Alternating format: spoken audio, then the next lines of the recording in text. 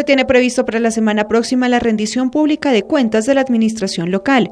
El compromiso es culminar todos los proyectos de este gobierno, expuso el alcalde. Durante la jornada se entregará el balance de cómo avanzan dichas obras. Los del sistema estratégico de transporte es muy satisfactorio ya saber cómo va avanzando de positivamente la obra en la, en la carrera 19 hasta el Hospital Civil Mm, algo que se, esperaba muchísimo, la pavimentación de la carrera 27 está avanzando positivamente.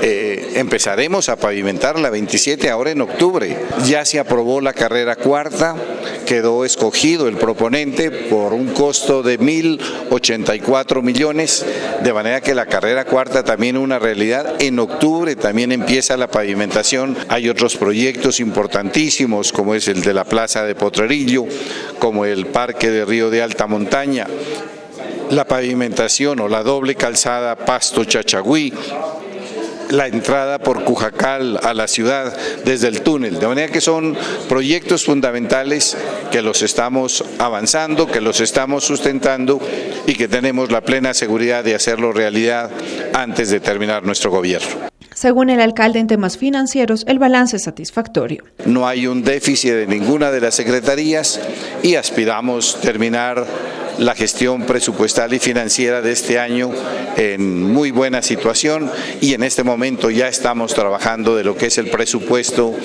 2018. Eh, el evento se desarrollará el próximo 9 de agosto en horas de la tarde en el Hotel Cuellars.